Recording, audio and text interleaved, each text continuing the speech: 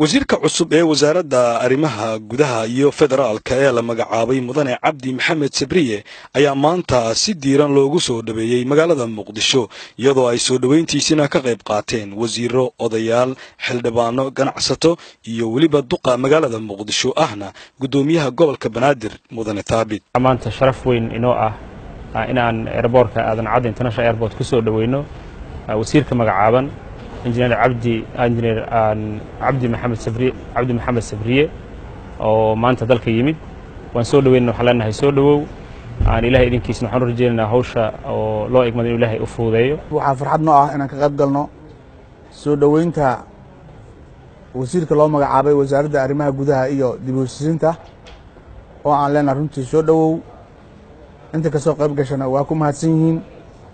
Cabdi maxamed sabriye waa qof noocee ah wuxuu ku dhashay dhuusamareeb kun sagaal iyo toddobadii. Waxbarashadiisina wuxuu ku qaatay matabaan dhuusamareeb gaalkacyo muqdisho iyo dalka ingiriiska. Shahaadooyinkiisii tacliinta sare ee bajularka iyo masterka waxa uu bartay aqoonta injineernimada. Howlaha uu soo qabtana waxaa ka mid ahaa wakaaladii dhismaha soomaaliyeed ee wasaaradda howlaha guud iyo guryeynta ka hor xilligii burburka. Aniga sanadkan wuxuu noqonayaa sannadkii afartan iyo sagaalaad oo aan isnaqaanay marka da'dayada waxba yaan lagu mashquulin. Oo aanu dugsiga hoose dhexe dhuusamareeb isugu nimid. Caruurnimadaas ilaa iyo haddeertaanna afartan iyo sagaalkaasana midaan kala harray ma ahayn.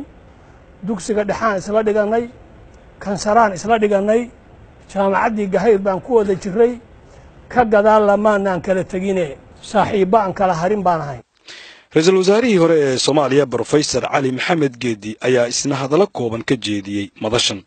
Soo dhoweynta wasiirka cusub ee wasaaradda arrimaha gudaha federaalka iyo dib u heshiisiinta injineer sabriye waxaan u malaynayaa inay tahay munaasabad wakhtigeedii ku timid. Qofka marka xil loo dhiibee la magacaabo. Waxaa ugu daran qofka la yidhaahdo yaa yaqaana.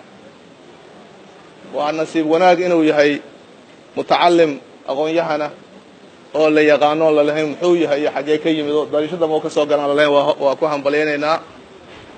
Mas'uuliyiinta goobta fadhidee soo dhoweyntiisa ka qayb gashay iyo intana maqlaysaba. Hambalya kuma filnay ha loo duceeyaan leeyahay. Ugu dambaynna wasiirka cusub ee la doortay ayaa aad ugu mahad celiyey dadkii sida weyn u soo dhaweeyey magaalada muqdisho. Waxaana hadalladiisii ka mid ahaa.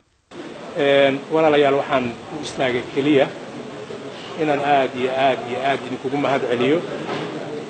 Idinkaga mahad celiyo maalinkii la nasan lahaa oo cibaadada iyo salaadda la aadi lahaa inaad wakhtigiinna u soo hurteen inaad tidhaahdo inaad tidhaahdaan soo dhowow ku soo biir dadka waddanka xilka u haya.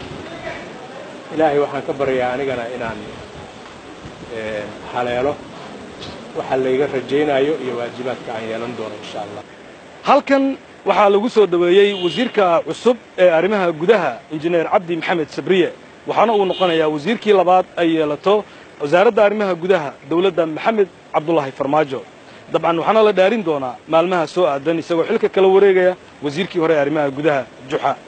Ibraahim cumar baafe wararka universal garoonka aadan cadde magaalada muqdisho